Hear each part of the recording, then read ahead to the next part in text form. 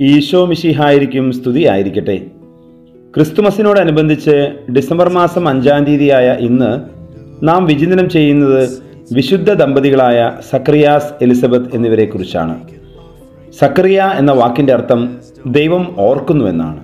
Elizabeth എന്നതിന്റെയോ ദൈവം എന്റെ സമൃദ്ധി എന്നും.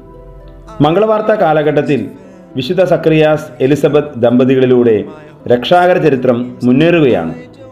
ഈ ദമ്പതികളുടെ ജീവിതത്തെക്കുറിച്ച് വിശുദ്ധ ലൂക്കാ സുവിശേഷകൻ തന്റെ സുവിശേഷത്തിലൂടെ ഇങ്ങനെ പറഞ്ഞു വയ്ക്കുന്നു അവർ ദൈവത്തിന്റെ മുമ്പിൽ നീതിനിഷ്ഠരും കർത്താവിന്റെ കൽപ്പനകളും പ്രമാണങ്ങളും കുറ്റമറ്റ വിധം അനുസരിക്കുന്നവരുമായിരുന്നു.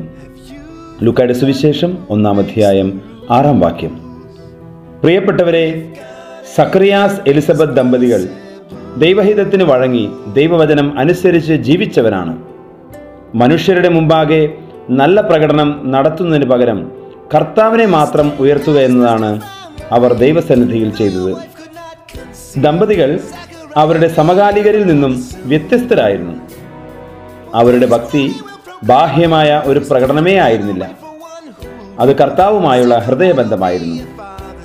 മനുഷ്യർ ചിന്തിക്കുന്നതിനേക്കാൾ ദൈവം അവരെക്കുറിച്ച് ചിന്തിക്കുന്നതിനെക്കുറിച്ച് അവർ കൂടുതൽ ശ്രദ്ധിച്ചു.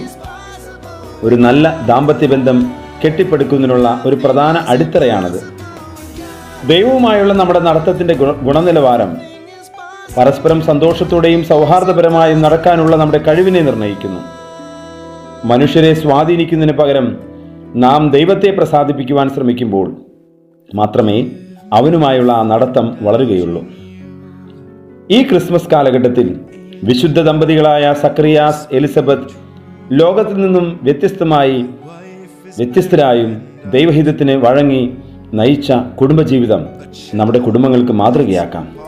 അവരോടൊപ്പം ഉണ്ണിയേശുവിനെ ആരാധിക്കുവാൻ പുൽക്കൂട്ടിലേക്ക് നീങ്ങാം. നീ തന്നെയാണ് ക്രിസ്മസ്. തിരുപ്പിറവിക്ക് ഒരുക്കമായി നമ്മൾ തയ്യാറാക്കേണ്ട സമ്മാനം കുഞ്ഞിച്ചെരുപ്പ് തിരുപ്പിറവിക്ക് ഒരുക്കമായി നമ്മൾ ഒരുക്കേണ്ട സുഹൃതം. ദേവാലയത്തിൽ ഈശോയെ സന്ദർശിക്കുക. തിരുപ്പിറവിക്ക് ഒരുക്കമായി നമ്മൾ ഒരുക്കേണ്ട പ്രാർത്ഥന. പത്ത് പരിശുദ്ധരാജ്ഞി.